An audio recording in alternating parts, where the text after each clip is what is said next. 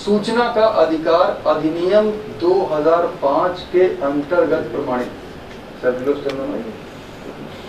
Self thinking बन जाती सूचना का अधिकार अधिनियम 2005 के अंतर्गत प्रमाणित। और जितने डॉक्यूमेंट आप दें, सब पर वो स्टैंप लगाइए और पीआईओ साहब बीच में अपना इनिशियल या हस्ताक्षर कर। प्रमाणित हो गया। तीसरा, यदि आपके ऑर्गेनाइजेशन में किसी प्रकार की सामग्री का समावेश है। जैसे कोई निर्माण संस्था है, निर्माण सामग्री हो सकती है फिशरीज डिपार्टमेंट मछली को खिलाया जाने वाला खाना हो सकता है, जेल है तो जेल में जो बंदियों को खाना खिलाया जाता है, गोडाउन में अरहर की दाल रखी है, चावल रखा, गेहूँ रखा, जो भी रखा, कई सामग्री हो सकती है। अब आप अपने कल्पना करके देख लीजिए। यदि किसी प्रकार की सामग्री का समावेश है तो भारत के नागरिक को यह अधिकार है कि उसका निर्धारित मूल्य देकर बिना कारण या प्रयोजन बताए उस सामग्री का प्रमाणित नमूना भी ले सकता। सर्टिफाइड सैंपल सूचना यदि कंप्यूटर में है तो दो प्रकार से प्राप्त की जा सकती है। हार्ड कॉपी या सॉफ्ट कॉपी हार्ड कॉपी का मतलब प्रिंट आउट सॉफ्ट कॉपी में यहाँ कई लिखे हैं, लेकिन अभी उत्तर प्रदेश सूचना का अधिकार नियमावली 2015 के नियम पाँच में दो चीज़ों का मूल्य निर्धारित है। एक तो है फ्लॉपी और दूसरा है सीडी फ्लॉपी ऑब्सोलीट हो चुकी है, अब बची सीडी तो नागरिक सीडी में भी इंफॉर्मेशन ले सकता मूल्य के बारे में आगे देखेंगे। नेक्स्ट अब हम सीधे आवेदन के निस्तारण की प्रक्रिया पर आते हैं। ये प्रक्रिया डिस्कस करने के पहले कुछ दो तीन बातें आपसे कहना चाहूँगा। Every act has a philosophy हमारे यहाँ जितने भी अधिनियम है लॉ अभी रुके हुए थे जितने भी लॉ हैं, सबका एक दर्शन है। एक फिलोसफी है, प्रत्येक की। जो आप पढ़ेंगे तो आपको पता लगेगी, अभी हम आरटीआई पढ़ रहे हैं, इसकी फिलोसफी क्या इसकी फिलोसफी हम दो स्टेटमेंट में आपके सामने रखेंगे, दो statements statement number one is जो फिलोसफी हमें बताती है maximum disclosure and minimum exemption और दूसरी स्टेटमेंट ये कहती है disclosure is the rule and exemption is the exception मैं हिंदी में कहता हूँ, जो पहला स्टेटमेंट हमने कहा मैक्सिमम डिस्क्लोजर अधिक से अधिक प्रकट किया जाना है। और कम से कम छिपाया जाना है। Minimum exemption consistent with constitutional provision और जो छिपाया जाना है, वह भी संवैधानिक प्राविधानों के अनुरूप अधिक से अधिक प्रकट किया जाना हम लोग कभी कभी इसका उल्टा करने लगते हैं। अधिनियम की भावना तो यही अधिक से अधिक बताना है। और कम से कम छिपाना है, और जो छिपाना है, वह भी संवैधानिक प्राविधानों के अनुरूप। और जो सेकंड स्टेटमेंट हमने कहा डिस्क्लोजर इज़ द रूल सूचना का प्रकटीकरण ही नियम है, प्रकट किया जाना ही नियम है, और छिपाया जाना अपवाद है। तो अपवाद का प्रयोग अपवाद परिस्थितियों में ही होना चाहिए। कहीं हम उल्टा तो नहीं कर रहे? आत्मावलोकन करना पड़ेगा। तो इस फिलॉसफी के आधार पर मैं ये कह सकता हूँ कि जन सूचना अधिकारी का प्रथम और प्रमुख दायित्व है सूचना उपलब्ध कराना। अधिनियम मुख्य रूप से सूचना उपलब्ध कराने के लिए आया। और केवल अपवाद परिस्थितियों में ही सूचना देने से मना किया जाएगा, वह भी विधिक प्राविधानों के अनुसार। अब हम देखें निस्तारण की प्रक्रिया का ये प्रत्येक समय हमें स्मरण रहना चाहिए कि मैं जन सूचना अधिकारी हूँ, जन सूचना अधिकारी के रूप में मेरा प्रथम और प्रमुख दायित्व तो है सूचना उपलब्ध कराना। सूचना न देने का बहाना ढूंढना, ये मेरा दायित्व तो नहीं है। आगे चलिए। इस प्रक्रिया को हमने चार चरणों में बांटा। निस्तारण की प्रक्रिया को प्रथम चरण में हम देखेंगे, आवेदन का प्रारंभिक परीक्षण और उसकी पावती कैसे दी जाएगी। अब पावती देना अनिवार्य हो चुका है। दिसंबर 2015 के बाद। आवेदन का विस्तृत परीक्षण। शुल्क की गणना देखिए, अगर कहीं पे मात्रा छोटी ऊ की बड़ी ऊ बन जाए शरीफे वाले शाह की जगह षटकोण वाला शाह बन जाए तो इसको इग्नोर कर दीजिएगा। हिंदी फॉन्ट जब हम प्रयोग करते हैं तो अलग अलग सिस्टम पर कभी कभी ऐसा हो जाता है। तो उसको इग्नोर कर दीजिएगा। जो हम बोलेंगे सही, ठीक? तो शुल्क की गणना और अंतिम चरण में आवेदन का निस्तारण। तो ये चार चरणों में होंगे। नेक्स्ट अधिनियम में जन सूचना अधिकारी को एक बहुत महत्वपूर्ण दायित्व यह भी दिया गया है कि यदि आवेदक किसी कारण से लिखित आवेदन तैयार नहीं कर पाता है। कारण कई हो सकते हैं, कम पढ़ा लिखा है, नहीं पढ़ा लिखा है, या बहुत से लोग एप्लीकेशन लिख ही नहीं पाते। पोस्ट ग्रेजुएशन होने के बाद भी नहीं पाते, क्या किया जाए? तो हमारे ही। तो अधिनियम कहता है, जन सूचना अधिकारी उनकी सहायता भी करेंगे। तो क्योंकि ये दायित्व तो है, इसलिए नियमावली में प्रारूप दो डिज़ाइन कर दिया गया। है। ये एप्लीकेशन फॉर्म है।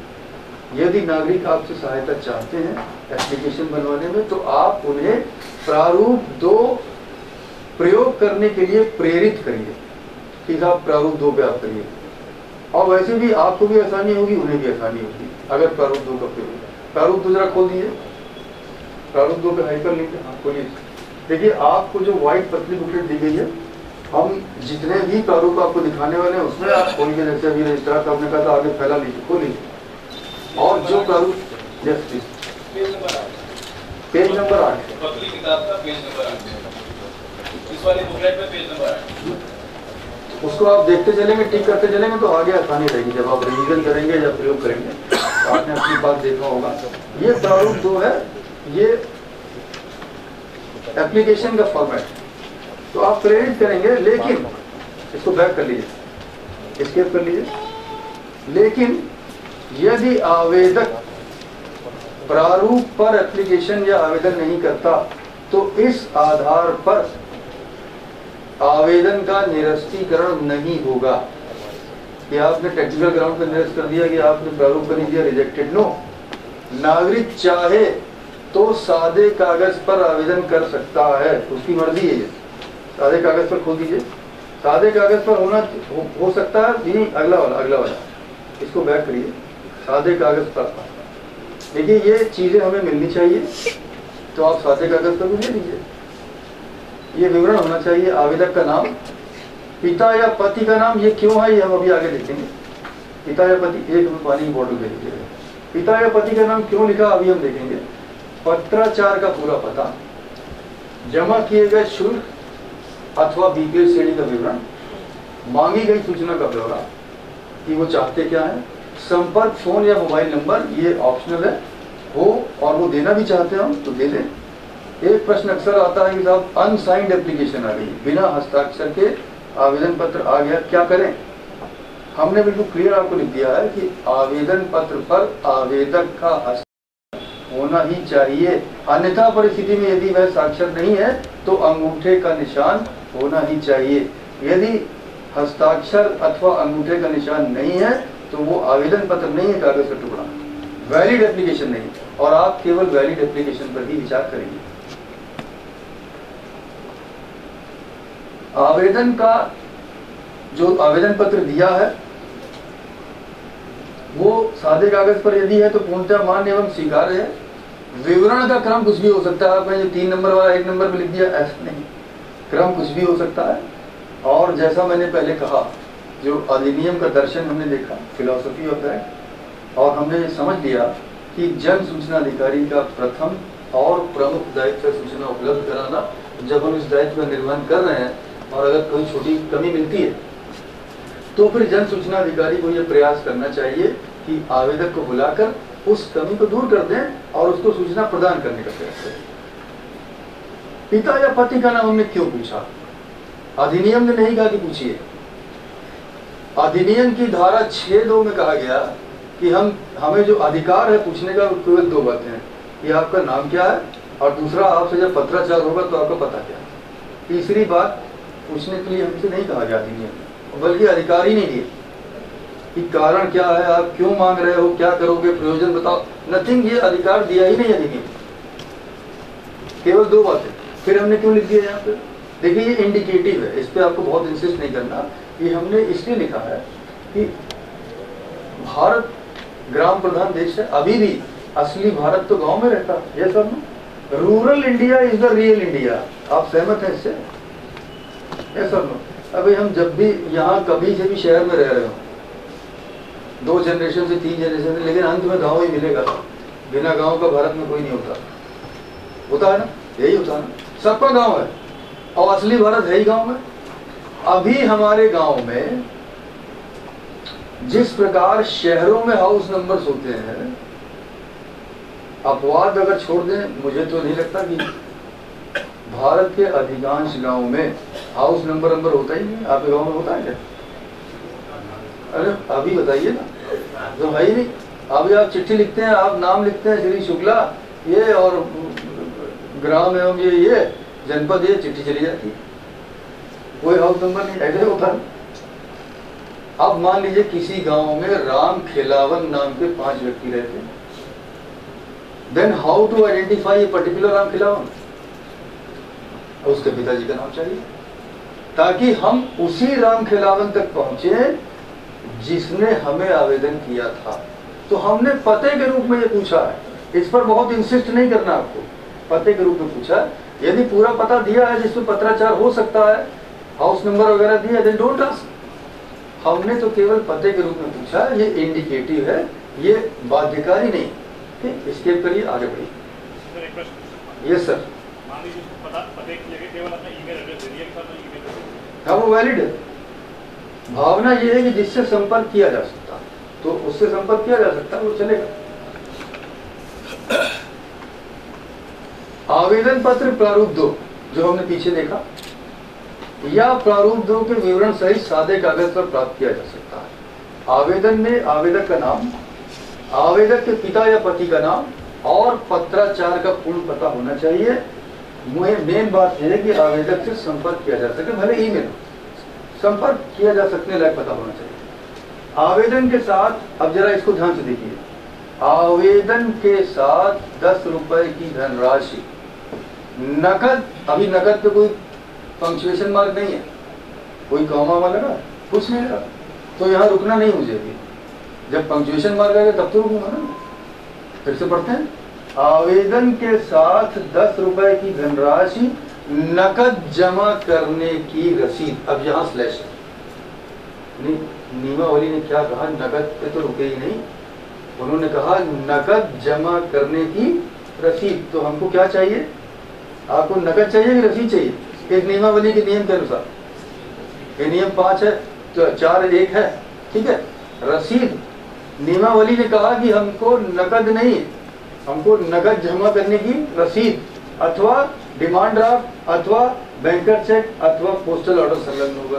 अब आप में से कुछ लोगों ने कहा, वो तो दस रुपए नगद नक्की कर देता है। उसमें अटैच कर देता है। उसका नंबर लिख देता है। उसकी छाया को प्रति लगा देता है नगद अब क्या करेगा? आप तो कह रहे रसीद। है अब यहाँ पे सहायता करने का दायित्व किसका है? अधिनियम में किसको दिया? तो अगर नकद आ जाता है तो उसको रिजेक्ट मत करिएगा। आप पहले उसको, अगर बाई हैंड लेके आता है तो उसको समझा दीजिए कि भाई साहब, वो उधर हमारे कैशियर है, दस रुपए जमा कर दीजिए, रसीद दे आइए। मान जाते हैं लोग। और नहीं मानते तो फिर दायित्व हमको करना पड़ेगा।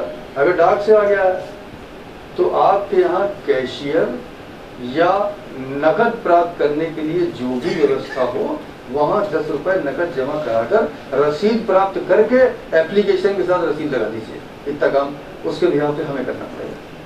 ठीक? बीपीएल श्रेणी के आवेदकों से कोई शुल्क नहीं लिया जाएगा। यहाँ एक भ्रम रहता है कभी कभी कि अब जो आवेदन शुल्क है दस रुपए वो नहीं लेंगे, लेकिन सूचना का मूल्य है वो सौ पन्ने मांग रहा दो सौ रुपए वो तो ले ही लेंगे। अधिनियम कहता है कि नहीं। अधिनियम की धारा सात पाँच के परंतु में स्पष्ट लिखा है। Proviso of section seven five स्पष्ट रूप से लिख दिया गया है कि बीपीएल श्रेणी के आवेदकों से किसी प्रकार का कोई शुल्क नहीं लिया जाएगा। यह संसद का आदेश है। जो अधिनियम की धारा सात पाँच के परंतु में लिखा है। जो संसद से ऊपर हो वो ले सकता। फिर कुछ नहीं कहना। है? हाँ बोलिए। जरा हाँ। मत संख्या आपके इसमें नियमावली में दी है। हमने आपको जो दिया है उसमें मत संख्या ट्रेजरी का मत दिया। नियमावली के नियम पाँच में मत दिया हुआ है। उस पर आप बस बीपीएल श्रेणी का कोई प्रमाण होना चाहिए। और आपको लगता है कि ये पर्याप्त है तो उसे अलाउ कर दीजिए। नेक्स्ट आगे चलिए। नाम पता व आवेदन आवेदन शुल्क। या तो आवेदन शुल्क होगा या बीपीएल का प्रमाण पत्र होगा। सहित प्राप्त आवेदन को जन सूचना अधिकारी प्रारूप तीन पर बनाए गए रजिस्टर पर अंकित करेगा। ये प्रारूप तीन जरा खोलिए। देखिए आपको जो पतली में देखिए। पेज नंबर दस खोलिए। हाँ यस माइक दीजिए आपको। अगर किताब माइक काम कर है। दस। सर मैं आपसे ये जानना चाहता हूँ कुछ लोग वकील के द्वारा मांगते हैं। तो सूचना वो वकील को देनी है या हम्म, ठीक। वो आवेदक है उसको देनी है माइक ऑफ़ कर दीजिए देखिए अधिनियम की धारा तीन में ये कहा गया कि कोई माइक गड़बड़ कर रहा है ऑन है क्या ऑफ़ कर लीजिए उसको ले जाओ। ले जाओ उसको प्रश्न हो जाता है अधिनियम ने यह अधिकार भारत के नागरिक को दिया। हमारा जो भी प्रोफेशन हो, या अगर हम सेवा में जो भी बदनाम हो, कुछ भी, हम पहले भारत के नागरिक हैं और उसके बाद हम कुछ और। और यह अधिकार भारत के नागरिक को दिया गया। जो एडवोकेट का प्रोफेशन है, क्या वो एडवोकेट भारत का नागरिक है कि नहीं, आप ये बता दीजिए। नागरिक है तो उसकी एलिजिबिलिटी पूरी हो गई। अब अधिनियम ने यह कहा कि प्रयोजन तो हमें पूछना ही नहीं है। वो तो उसने बता दिया आपको प्रयोजन कि, मैं अपने क्लाइंट के लिए मांग रहा हूँ।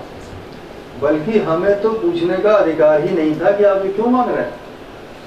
ठीक तो जो अधिकार मेरा है ही नहीं उधर, देखिए। आप केवल ये देखिए कि जो सूचना मांगी गई है, अधिनियम के अनुसार दे है अथवा नहीं वह इतना देखिए। जहाँ मेरा जुरिडिक्शन नहीं है वहाँ मत देखिए। प्रयोजन पूछने का जब अधिकार ही नहीं है मुझे तो वो तो अपने आप बताया दे रहा है। मुझे तो पूछना भी नहीं करा इसलिए चाहे वो वकील हो या कोई प्रोफेशन हो अगर भारत का नागरिक है उसने जो पता दिया है उस पते पर आप सूचना देंगे आपकी जिज्ञासा शांत हो गई? यस इसमें एक पॉइंट और जोड़ देता हूँ। जी। जब से श्री मेहतानी जी ने इस उद्बोधन का प्रारंभ किया है, उन्होंने लगातार नागरिक शब्द का ही प्रयोग किया है, कि यह अधिकार केवल भारत के नागरिक को प्राप्त है। तो ऐसे आपके सामने प्रकरण आ सकते हैं या आए होंगे, कि किसी ने किसी कंपनी के लेटर हेड पे कोई सूचना मांगी, और नीचे उसने लिख दिया सचिव, फलानी कंपनी, या फलाना ऑर्गेनाइजेशन तो आपके विचार से ये सूचना देय है उनको या नहीं देय है? क्या करते हैं इस तरह के प्रार्थना पत्रों का? किसी कंपनी के, किसी ऑर्गेनाइजेशन के, किसी संस्था के लेटर हेड पे कोई प्रार्थना पत्र आया और नीचे कोई नाम नहीं लिखा, केवल पदनाम लिखा और ऑर्गेनाइजेशन का एड्रेस लिखा हुआ तो इस प्रकार के प्रार्थना पत्र को यह माना जाएगा कि यह भारत के नागरिक के द्वारा नहीं दिया गया दूसरी स्थिति ये हो सकती है कि उसी लेटर हेड पे ऑर्गेनाइजेशन के सारी सूचनाएँ मांगी है और नीचे एक नाम लिखा हुआ है एक्स वाई जेड और उनका पदनाम और पता लिखा हुआ है। तब हम यह मानेंगे कि जो एक्स वाई जेड है, वह सूचना अपने लिए मांग रहे हैं और जो उनका लेटर है या जो एड्रेस लिखा है, ये उनका पता है। तब आप उस आवेदन को अस्वीकार ना करें। ये प्रश्न कई बार पूछा जाता अधिवक्ता का जो प्रश्न है, वो भी है। अगर अधिवक्ता अधिवक्ता के द्वारा अपना नाम लिखा गया है। तो आप सूचना दे दीजिए, उनका जो चैम्बर नंबर उसको पता मान लीजिए। अब वो प्राधिकृत प्रतिनिधि के रूप में मांग रहे हैं तो आप ये नहीं मानेंगे कि आप एक्स के अधिवक्ता के रूप में मांग रहे हैं, आप मांगेंगे मांगेंगे कि अधिवक्ता अपने लिए सूचना मांग रहे हैं।